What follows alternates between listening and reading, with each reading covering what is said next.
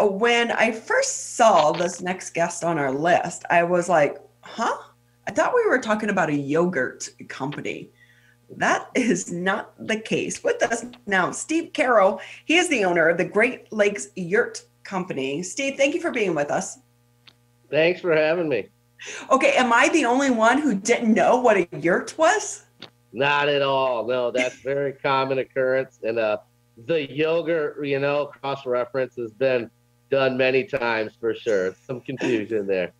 Oh, good. So I, I don't seem like, uh, or I don't feel like such a dumb blonde then.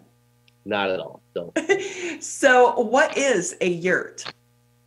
A yurt. So a yurt is a round wood framed structure uh, wrapped in canvas, uh, similar to a teepee. Um, you know, so it's a it's a Mongolian design. They've been used in Mongolia for thousands of years uh, by the nomads, easily movable. They follow the herds of the grazing animals around. Um, kind of turned into an American culture thing in the camping industry and some of the counterculture industry, you know. Um, yeah. It really is an amazing um, little building or hut per se. Uh, but with that too, I, I would think during the middle of this pandemic, have you seen an increase in sales or you, people wanting these? We have. We've seen a huge increase in sales. So, um, you know, a lot of it, as soon as the pandemic really rolled out last March, it's slow. We saw the slow of sales. Normally, March is a real big month for us. Uh, a lot of people getting ready for the warmer months. Um, so March was really slow. About mid-April, we got really busy. Um, a lot of people are using their recreational property that they haven't done anything with in years and always talked about. And a lot of people have had a lot more time at home, a lot more time with the family, and I think that spurred a lot of a lot of it. And then the other side is the camping industry. A lot of our yurts go to campgrounds, um, Airbnb type locations where people are just getting away, getting back to nature, and that industry has gotten really popular as well with COVID. So that's been a big part of our sales also.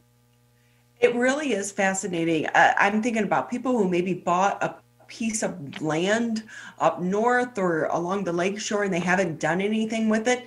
This is a great thing, but do you need a permit to um, actually um, put this, put your yurt up? Yeah, well, that depends a lot on where you're at, you know, across the country or across the state. Every municipality has their own ordinances and their own zoning laws, um, and it also depends greatly on what you want to use it for. Um, we get a lot of people that want to use them as permanent dwellings and live in them, and we have a lot of people that do do that. Um, for it's a little more for the the hardcore outdoor enthusiast. I don't recommend it for everyone, um, and it just depends. Because there's no bathroom in it. You'd still have to have an outhouse, right? Well, you can put bathrooms. You can um, really do anything you could do in a house in a yurt. Definitely, you can do full plumbing and electrical and uh, heating and cooling systems. So, but but if I do a yurt, um, because it is canvas, and we're talking about Michigan and snow, can it collapse? Um, no. So uh, you know, our bigger our bigger yurts are structurally engineered for to meet all the codes in Michigan as far as wind speed and snow um, pounds per square foot of snow load.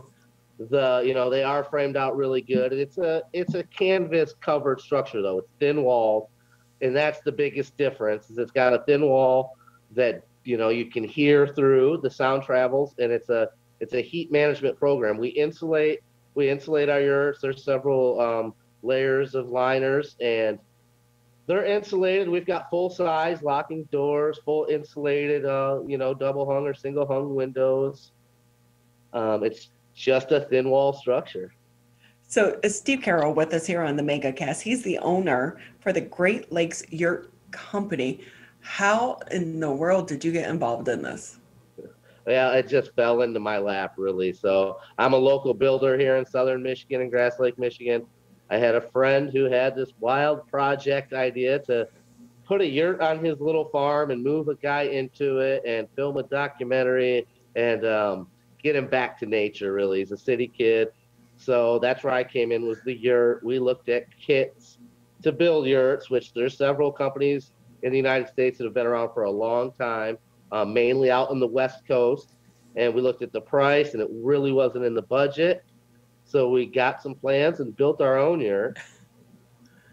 So we then, yeah, so I will say, uh, so I went um, to Africa, and as part of our trip, at the end of it, we went on a safari, and this kind of reminds me of the tents that we stayed in. It's like glamping, ultra high level, but these are not something that you know you put together quickly. It's not a pop up tent. Uh, it, it, it, what is the uh, process of actually putting it together? Yeah, so we do recommend they go on a solid foundation. Um, wood framed is normally what people do. It's an elevated wood framed foundation. It's a circle deck basically, and the yurt really only takes a couple days to put up with our kits.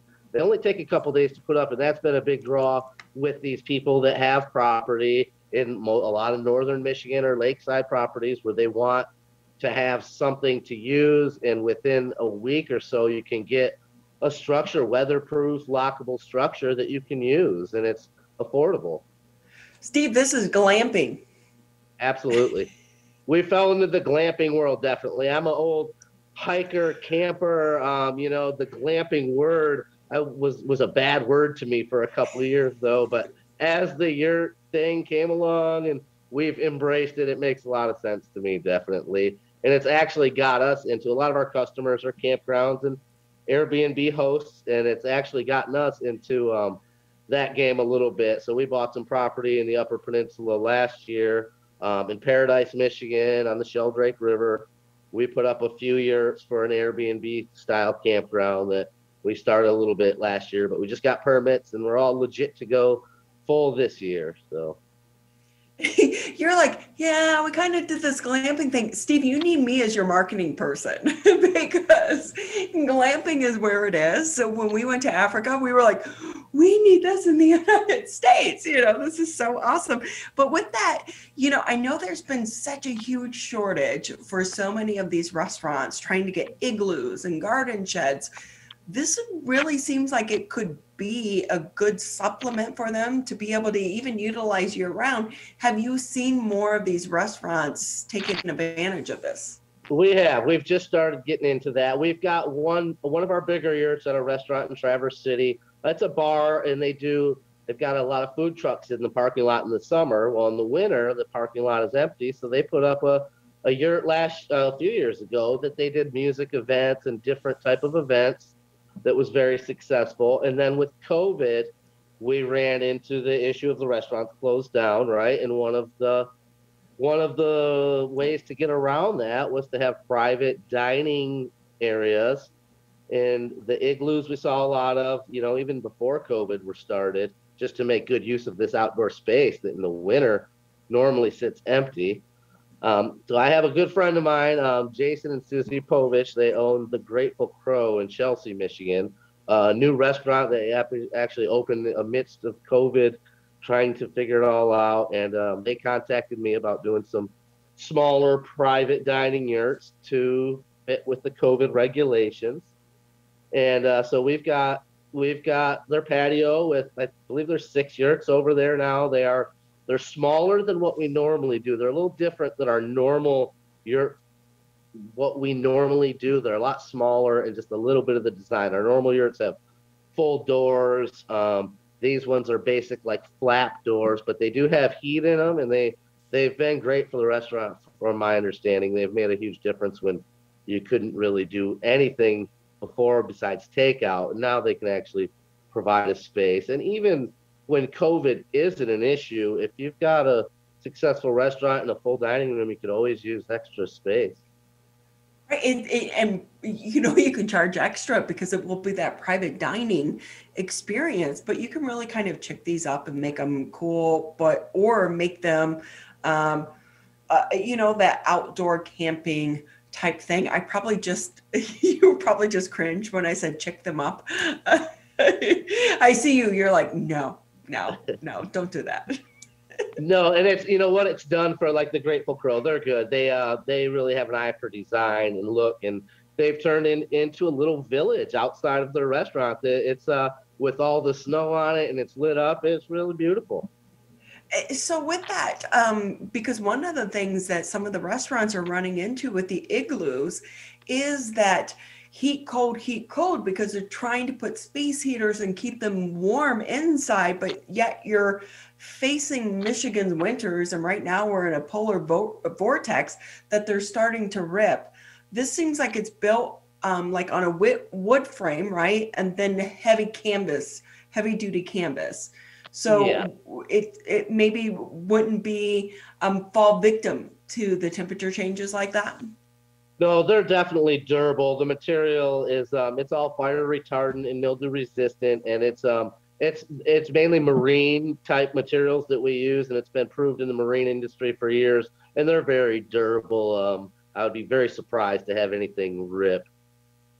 So I I'm looking at your website, and it's durable materials, affordable pricing, easily easy assembly. That's true. You know, a lot of the that's true. A lot of our customers put up the yurts by themselves.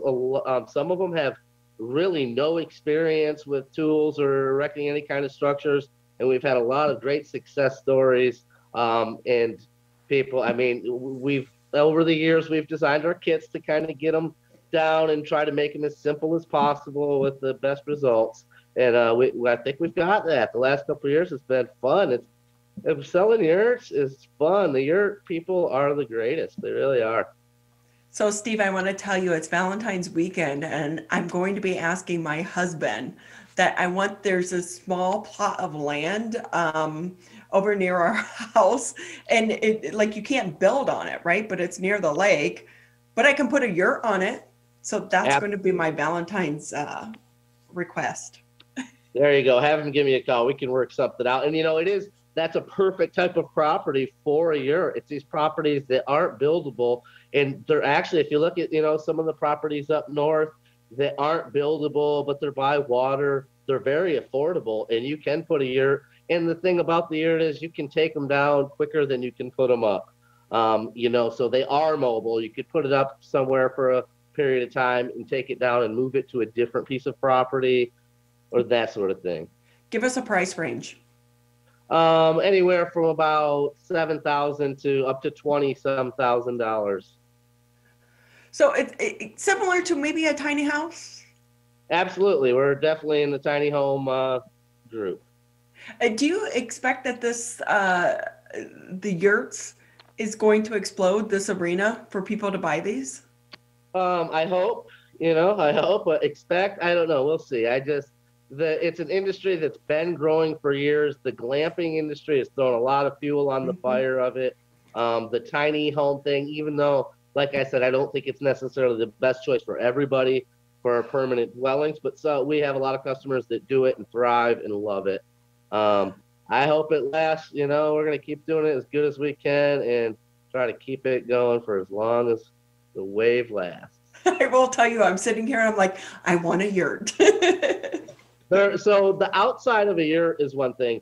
You walk inside of a year, it's very upscale. Um, the outside, in my opinion, they're very simple. They're very, um, you know, there's not a lot to them. Inside is really the roundness, and you've got the exposed woodwork up against, you know. So we've got an interior liner that's also mildew resistant, fire retardant. It's white and easily cleanable. So you have that contrast from the wood in the background the inside is definitely where it's at in your yurt.